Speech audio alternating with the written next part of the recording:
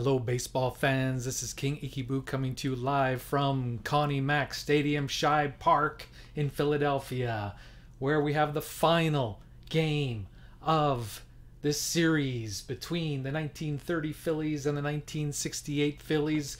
We've played six games already. The 1930 Phillies have won five games, and the 1968 Phillies have won only one. That means five times at least the 1930 Phillies will advance to the second round of this project. At least five times. It could be six, depending on today's game using National Pastime 3. This game, we don't have to worry about lefty versus righty. You might think that's a bad thing. I don't think it's that big a deal. Uh, the game is good. The game is fast. The game is accurate. And uh, I played it more than any other game, as you probably know. So let's go through the lineups once more in this first round between for the Philadelphia Philly franchise. Leading off and playing second base, Bernie Friberg. Batting second, he gets to play today. First baseman, Don Hurst. Batting third, the right fielder, Chuck Klein. Batting fourth, the left fielder, Lefty O'Doul. Batting fifth, the third baseman, Pinky Whitney.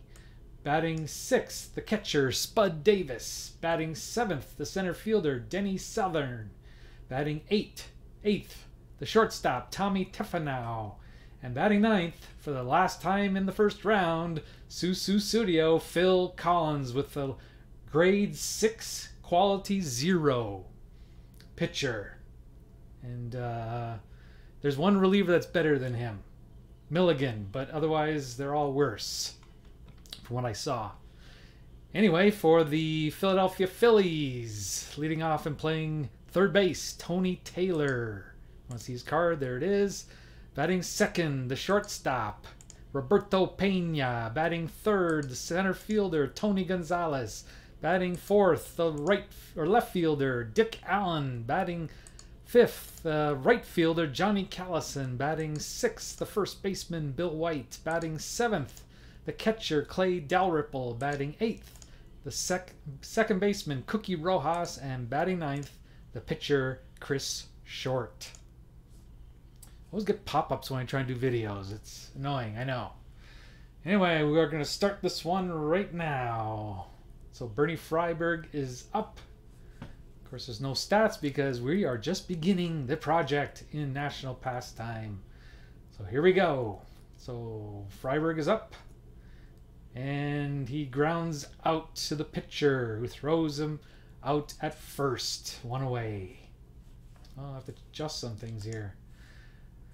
Uh, some things I'm not used to. Move manually. Manual click. I think that's what I'm used to. Let's see if uh, just automatically goes to the next one.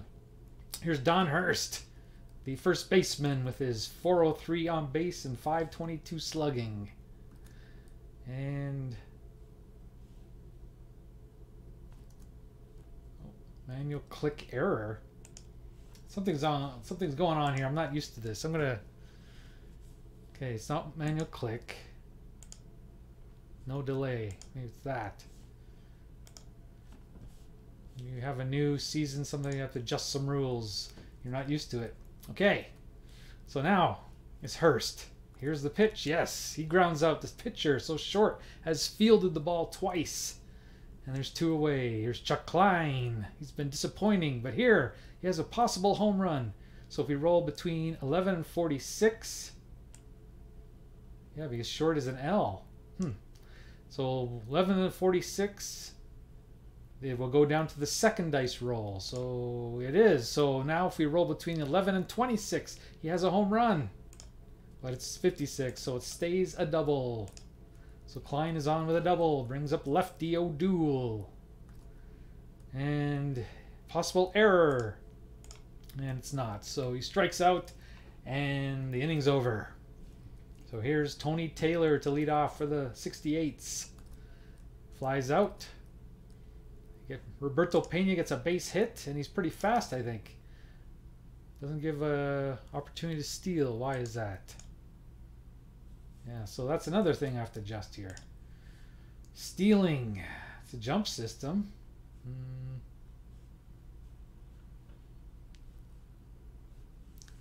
I'm not sure. Oh, jump system adjustment off. No, no, that's not it. I'm just surprised he didn't try to steal. That's all. Okay, Tony Gonzalez. He walks. Two men on for the disappointing Dick Allen. Now, here's an interesting thing. He has a two in the outfielder, which means he's a. This game thinks he's a good outfielder. Hmm, interesting. He's also fast. Doesn't mean he has speed, but he can score normal than more than normal uh, when he's on base. He gets he scores runs when he gets on base. That's what that means. So here he is, and he has an infield fly pop out to second, and leaves Johnny Callison, and he pops out. So through one inning, we're scoreless. Here's Pinky, fly out, ground out, and we have a chance at a home run here. Goes it's uh, six six. You see it's a zero here. It goes to the second row, second column. It's a column or row? I think it's a row. Column, column. Yes, they're columns. So anyway, so if he gets 11, a 22, a 33, 66, there'll be home runs. Otherwise, it will be a double or a single. 63 will be a double. But he has a, because of the L, he has a chance. Oh, he passes the first test. Will he pass the second? Yes, he does. Denny Sothern gets a home run to put the 30s up one to nothing. Here's Thevenow. He gets a base hit. So one a man on second, two out. Brings up Phil Collins who has a good hitting card. We've talked about this before. He rolls a 66. It's an automatic home run. 23. Innings over. So after one and a half, 30s, one, 68s, nothing. Phil Collins back on the mound to Bill White. Look at this possible error range. I've never seen that before. That means they they get commit a lot of errors. 1 to 6 11 to 16. That's you gotta avoid that. Okay. Fortunately, he rolled higher. Dalrymple strikes out. Cookie Rojas strikes out. So through two innings, one nothing, 30s. Here's Friberg. He flied out, and Hurst is up. He grounded the pitcher. So Friberg grounded the pitcher and flied out. He's 0 for 2. Here's Hurst. He grounded the pitcher last time. And see, when the Phillies roll, it's 11 or 12 but they get an error. So Friberg reaches on an error by the third baseman. That is, uh, of course, Tony Taylor. He's not. Yeah, here's this steal thing. Doesn't try to steal. So Klein. Klein is doubled the first time up. So he wants to play hard today. And the 8 is nullified by the B. Normally an 8 result is always a single except when the pitcher's a B. So he nullifies it, makes it a ground out. Runner advances, brings up lefty. Lefty gets a home run. An instant 33 is a home run for Lefty O'Doul.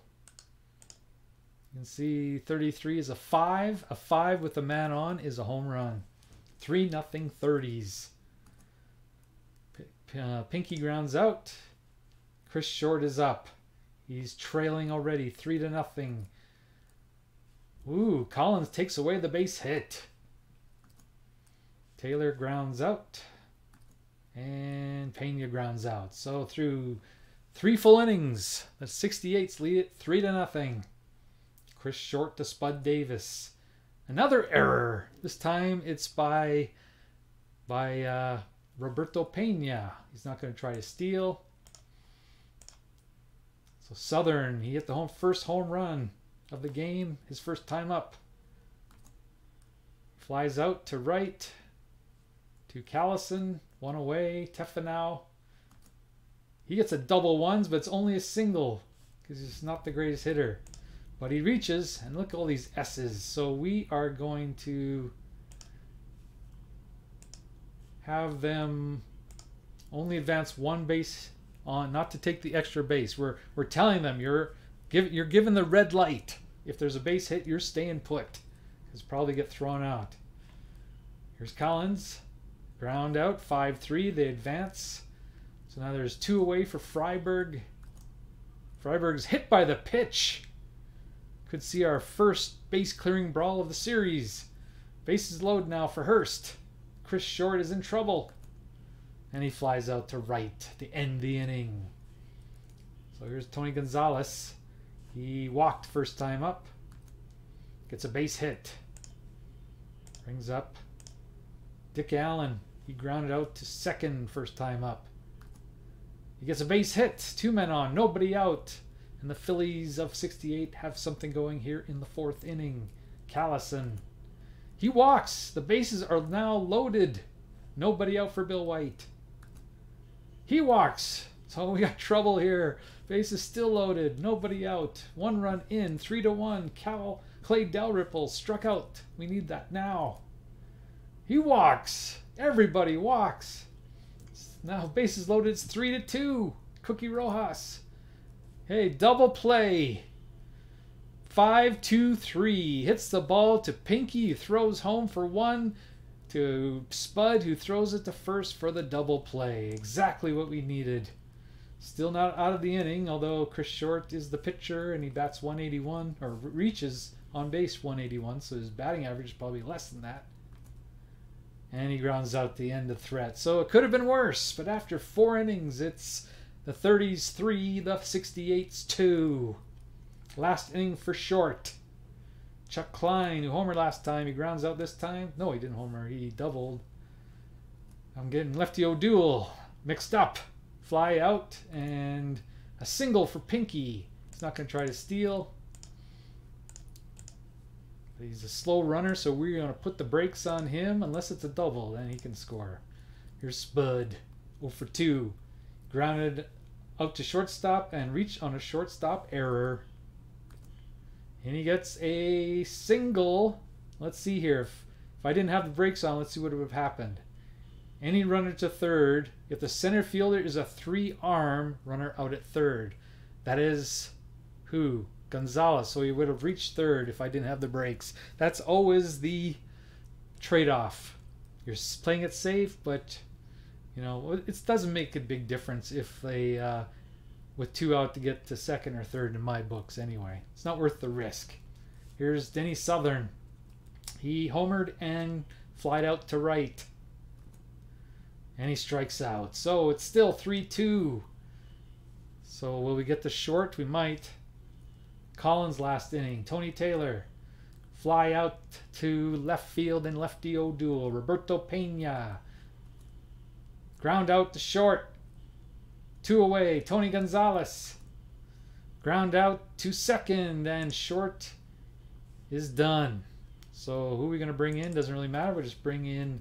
Don't have to worry about the lefty righty thing. Let's see. We got uh, Boozer is a 7-2 with a Z and a G. And a, he's pretty good. Paul Brown, haven't heard of him before. Larry Colton, 2 1. Turk Farrell, 9 2 with an L. It's a bad thing, L. Woody Fryman's 10 2, Y and W. Dick Hall, 6 3, double, triple Z, and an N. Uh, we will not use him unless we have to. 9 3 with a Y. Larry Jackson is 10 2 ZG, which is pretty good. James, Jeff James, 10 4 Oh, 10-3 gives you relief. It's in brackets. Y, W. Jerry Johnson, 8-3. Wagner, who was the GOAT in last... But he's a good pitcher. Look, he's like the best pitcher we've seen. 11-2 and an I. I is the best rating you can have. Basically, it's almost next to impossible to give up on a home run. And Rick Wise, who's not very good. So we will save Wagner, who was gave up nine runs in the Strat-O-Matic game, but we will save him because he's that good. We will bring in. You can only go one inning, so we will bring in. Ah, we always bring Woody in. We love Woody. Loved him when he was with the Expos, so we'll bring him in. He's 10-2, throws left. He has a B, which nullifies a lot of the eights. A Y and a W means he walks more than normal. Here's Tommy. Tommy grounds out to short, one away. Phil Collins. He could bat for himself, but we'll see what we got on the bench. If we don't see much better, we'll just leave him to bat for himself. Yeah, there's some good ones here. Fresco, Cy Williams, but we'll we'll save him for when there's base runners on. Yeah, he'll bat for himself. Why not? He's pitched so well for us, so we'll give him this reward. And he has a possible error. 62, no. Okay, here's Friberg with two out here in the sixth. 3 2 30s. And he grounds out. So Collins is done. Now let's look at this horrible excuse for a pitching staff. 1 4. You can't get worse than a 1 4. He's a Hall of Famer, he's a legend, but he was out of juice here in 1930. The only good thing is the Z. Everything else is dreadful. On oh, double play plus, I guess. Benji, 2 4. Or 2 3 because his in relief is in brackets. Here's Hap. Hap is a 2 3 with a Z and an L. L is bad. Hal Elliott, 1 3 with a G. Snipe, 3 4. Koupal, 3 3 with an L. Milligan is the only good one. 10 2, but he has a double double W, which is bad, which means he walks everybody, but he has that wonderful eye. Chet Nichols is about the best we've seen, but he has the M, which is next worst to an N. N is the worst, M is the second worst, and then L is next worst. Here's Buzz, 2 1 M. Harry Smythe, 1 1 WG. Byron Speece, he has a beloved H and a good Z, but these are bad. Sweetland, who has two wins in this series. Who would think it with his 1 3 M? And Claude Willoughby. Okay, Claude, it's you. It's going to be you, Claude. Don't get a chance to pitch very often, but you're one of the better ones, I guess. He doesn't have those horrible L, M, and N's, and he doesn't have a W, so that's why he's in the game. Should brought in someone with a uh, takes away home runs because here's Dick Allen. He gets a base hit, so he's more dangerous in this game than any other game so far. Callison he gets a base hit. Uh, first and third, nobody out. Here's Bill White. Okay, the run, tying run scores. A fielder's choice. Runner on first, out at second, batter to first. He's not going to steal. So, game is tied at three. White is an S. Dalrymple. A ball to the batter. He gets another roll. Okay, oh, here's that horrible 11 to 16 error. 22 doesn't make the error. Okay, Cookie Rojas. Base hit, but he's out at third. Gets thrown out by the center fielder. Sothern with his three arm. Okay, so that's it for Woody. We're going to bring in Boozer. John Boozer is coming in. Well go alphabetical order. So the tying run, it's in the seventh inning. We're tied at three. Here's Hurst. Hurst strike to Hurst. Gets another roll. Grounds out the short. Klein has doubled. Ground out the third. Ground out the short. He's one for three. And he pops out to the shortstop. Here's Lefty O'Doul. Struck out, homered, and fly to left. He gets a base hit. He's not going to steal. And he brings up Pinky. Pinky. He's the player of the. He is the most valuable player for the 1930 Phillies in this series. He is batting around 450. And today he has a base hit. So he's one for three today. So his average went down a little. But he's still the best on the team. And he gets a base hit first to third. See what this means here? If you're not familiar with this game, if I roll 11, he steals, and if I roll 66, he is out. So it's only 50-50 chance. It doesn't pay to even try, in my estimation. So Pinky is going to be held. Let's see if we can score the tying run. Spud is up. He's one for three. He reached on an error. He ground to short, and he singled. And he flies out. And the inning is over after six and a half 3 3. So that's it for Boozer. Boozer is going to come out of the game, and we're gonna bring in. He's a slow runner. Heisel, Lock. I don't play Lock very much, so we're gonna play put in Lock now. He's a decent hitter, one of the better hitters on the bench. And who's gonna pitch? We are going to bring in. Yeesh, they're all so horrible. Uh, except for you. Boy. If he gets one, two, three, these guys aren't big home run hitters. I could be shooting myself here, but but if he if he gets to Al, uh, Allen, we're going to be in trouble. But we're going to take a chance. We got to use up our M's. So here we go. Chet Nichols. Don Lock can hit one out too. If it's 66, is an instant home run. 1 3 walk. We need to get a 1 2 3 inning. We didn't get it. Tony Taylor. He is 0 for 3. He flied out to center, grounded to the pitcher, and flied out to left. Ooh, two ones are often double plays, but not for Tony Taylor. He just flies out to left field. Roberto Pena. Double sixes. So it's in the second column. So we got to hit one of these singles. 33. That's a triple.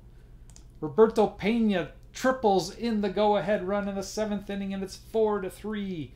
Got to bring the infield in for Tony Gonzalez. No error, no error. Double play.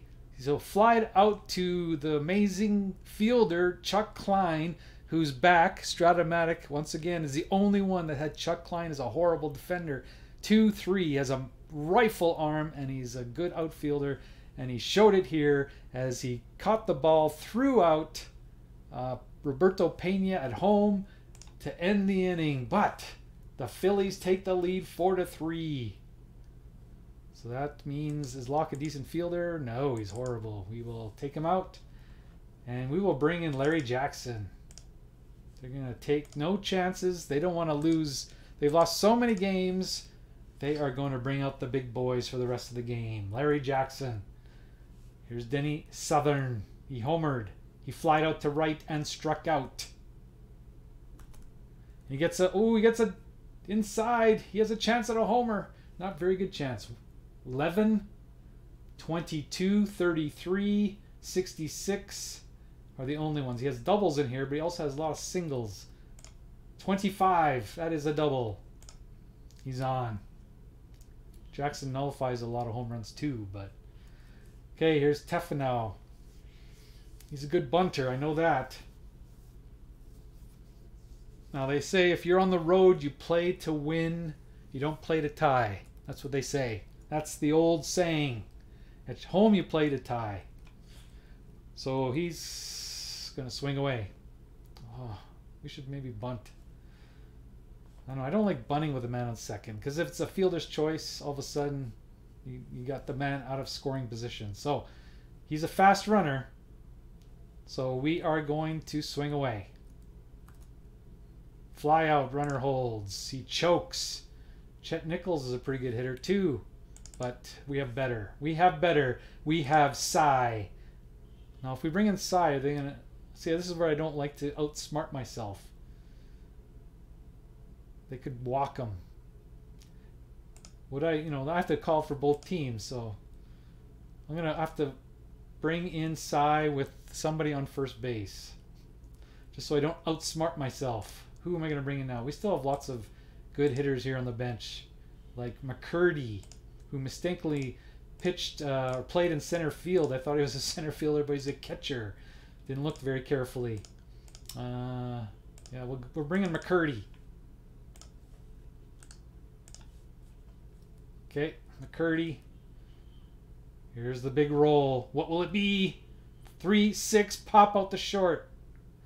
So let's, for, for kicks, let's look at what Okay, well, we'll look at what Cy would have done with a 3-6. Show display card for Cy Williams. 3, 6, 14. He would have walked, which is better than a pop out. Although he has a Z, so he might have nullified the walk. All right. What's done is done. Here's Friberg. Double sixes for Bernie Friberg. Good chance of a tie game here. We could have more. 54. It's a base hit. Now, so many. He's a F runner. That might save us here. Yep, he scores. Uh, played safe. Game is tied at four. So, uh, yep, just single right runner scores. I mean, what doesn't matter what uh, the speed of the runner was, he would have scored regardless. So Bernie Friberg comes through and ties the game. Here's Hurst. Hurst, fielder's choice. We'll ignore the injury thing. He's out at second and is injured.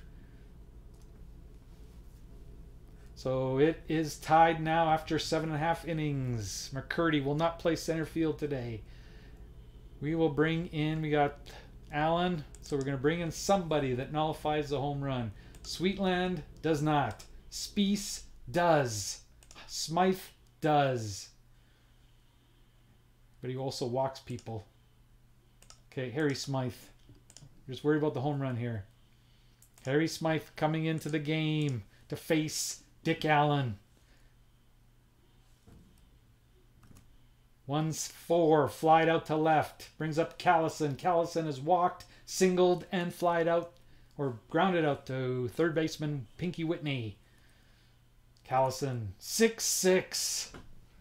Okay, so this is a home run unless we can roll 11 to 26. Otherwise, Callison, he homered in yesterday's game in uh, the Strat game, and he's going to homer here again unless we get the roll.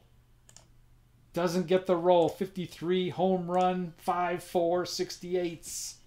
Harry Smythe gives up the home run. Bill White walks him. So it's runner on first. 5 4 now, 68s. One out here in the inning. 5 6. Didn't get the error.